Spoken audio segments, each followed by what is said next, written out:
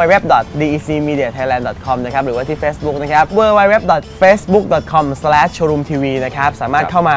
เยี่ยมชมกดไลค์หรือว่าแท็กรูปบ้านมาให้เราดูได้นะครับค่ะแล้วก็ที่เบอร์โทรศัพท์ด้วยนะฮะ 0818802230 นะครับ และสักครู่นะครับที่คุณผู้ชมเห็นนะครับ อุปกรณ์ที่แขวนผนังสวยๆนะคครัรับบผมจาก Home Decorative Product นะครับคงอยากเห็นรายละเอียดนะครับว่าเป็นยังไงไปชมกันเลยครับ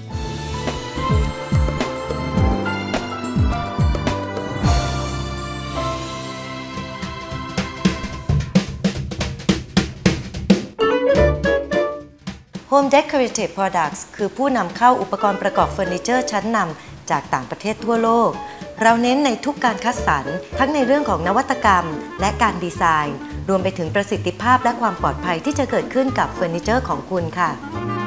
หากคุณเป็นคนหนึ่งที่ชื่นชอบ และสนุกกับเรื่องงานครัว ชุดอุปกรณ์ตะกร้า ตะแกรง Peka จากประเทศสวิตเซอร์แลนด์ คือดีไซน์ที่มีสไตล์ ทุกการใช้งาน โดดเด่นและหลากหลาย คุณจึงมั่นใจได้ว่าทุกงานครัวจะไม่เป็นเรื่องน่าเบื่ออีกต่อไปค่ะ ประเภทของชุดอุปกรณ์เสริมก็เหมาะเป็นอย่างยิ่งค่ะ ที่จะทำให้ทุกงานครัวของคุณเป็นเรื่องง่าย เพราะทุกการจัดเก็บจะเป็นระเบียบ สวยงามและสะดวก และเมื่อต้องการใช้ทั้งอุปกรณ์สำหรับใส่ช้อนซ่อม อุปกรณ์จัดเก็บมีด อุปกรณ์ตะขอแขวน ชั้นวางขวดเครื่องปรุง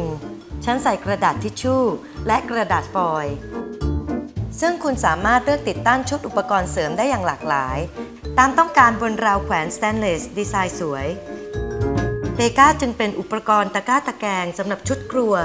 ที่เรียกได้ว่า ครบครันและสมบูรณ์แบบที่สุดทั้งในลูกเล่นและฟังก์ชันการใช้งาน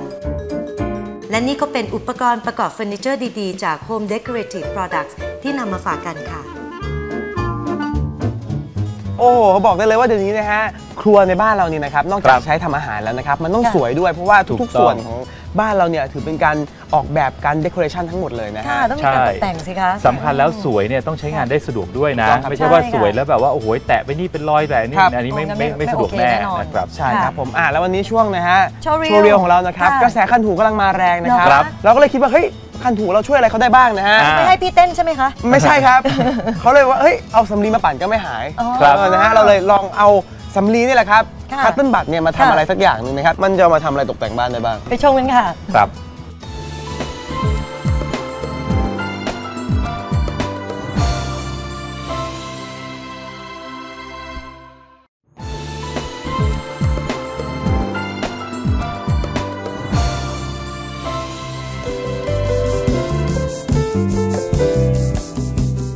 โชว์รีลของเรานะคะ จะมาทำต้นไม้จากคอตตอนบัดกันค่ะ เป็นอะไรที่ง่ายมากเลยนะคะ อยู่รอบตัวเรานี่เองนะคะ อุปกรณ์มีดังนี้ค่ะ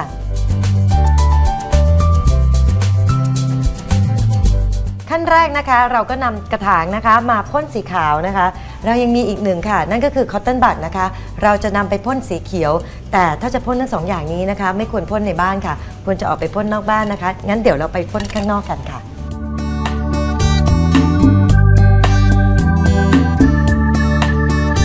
ได้แล้วนะคะ กระถางสีขาวค่ะ แล้วก็ cotton bud สีเขียวนะคะ เราสามารถใช้ cotton bud หนึ่งอันนะคะ ตัดเป็น 2 ชิ้นได้ค่ะ ขั้นตอนต่อไปนะคะโอเอซิสที่เราซื้อมาเนี่ยนะคะ ยังเป็นรูปสี่เหลี่ยมอยู่ แต่เราจะทำให้เป็นรูปทรงกลมนะคะ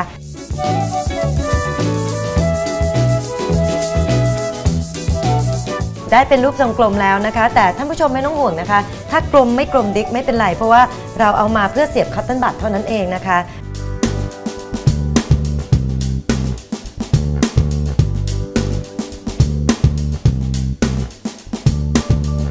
เสร็จแล้วเนี่ยนะคะเราก็นำมาวางบนกระถางอย่างนี้ค่ะ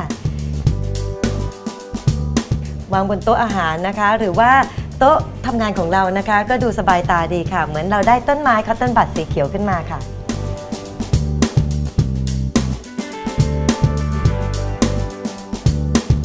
โอ้โห ไม่น่าเชื่อนะครับเป็นไงคะ คัตต้นบอดธรรมดานะครับ ครับผม ก็สามารถมาทำเป็นของตกแต่งบ้านได้ใช่นะครับ ค่ะก็เรีไม่ยกว่าใช่ประมาณแบบกล่องกวายค่ะ ใช่ครับ ค่ะ ใครที่อยากจะดูวิธีการทำนะฮะ สามารถเข้าไปดูได้ที่เว็บไซต์ www.dcmediathailand.com เราจะ เอาให้ดูทุกขั้นตอนแล้วฮ้ยเอาใหม่หมดหนึ่งสองสามสี่ค่ะทำยังไงไม่นะครัทันลองใหม่และสำหรับวันนี้นะครับ ต้องขอขอบคุณโครงการ The City รัตนทิเบศแครายโดย AP นะครับ เรียกว่าสถานที่ถ่ายทำเนี่ยครับบรรยากาศสวยงามมาก ๆ จริง ๆ นะครับมากเลยค่ะอืมค่ะ แล้ววันนี้นะคะชุดสวย ๆ นะคะ จาก Fly Now และ Just f o u l ค่ะเดี๋ยวสัปดาห์หน้านะครับผมนะครับจะไปลงพื้นที่นะครับสำหรับโชว์รูม Inside Charity ครั้งที่ 6 แล้วนะครับครับเราจะไปกันที่มูลนิธิเด็กบ้านทานตะวันนะครับ ไปดูครับว่าเฮ้ยข้างในเนี่ยเป็นยังไงบ้างนะครับ แล้วผมจะเก็บเอาโจทย์เนี่ยมาออกแบบกันสดๆในรายการ และวันนี้นะคะก็หมดเวลาลงแล้วค่ะครับพวกเราคงต้องลาไปก่อนค่ะ พบกันใหม่สัปดาห์หน้าค่ะ สวัสดีค่ะ สวัสดีครับลาละครับคันหูไม่รู้เป็นอะไร